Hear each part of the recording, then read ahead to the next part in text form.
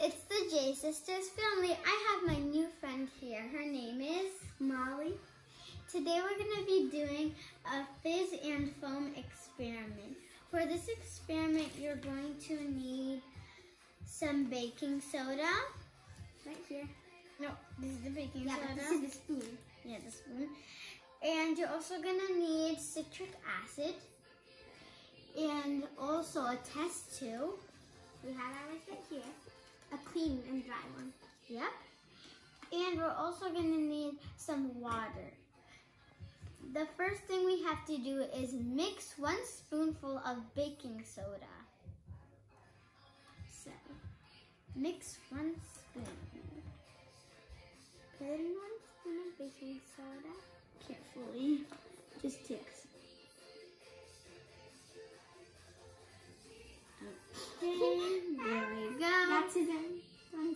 Kind of like a spoon.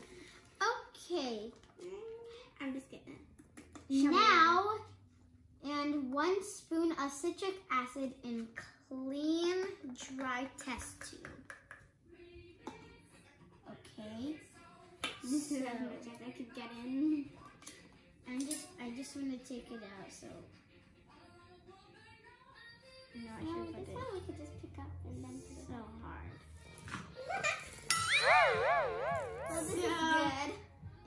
Very. Let's just pick it up and put it in. Okay, so next, add two millimeters of water into the test tube. Right here. Wait, we need we need to add a paper. Yep. And then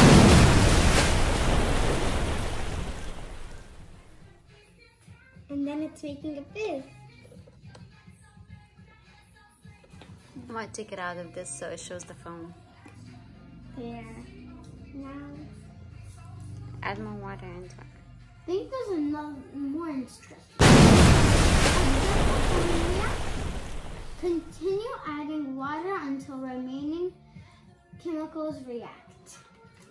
Thank you guys for watching. Bye. Subscribe down below and give us a thumbs up. Bye.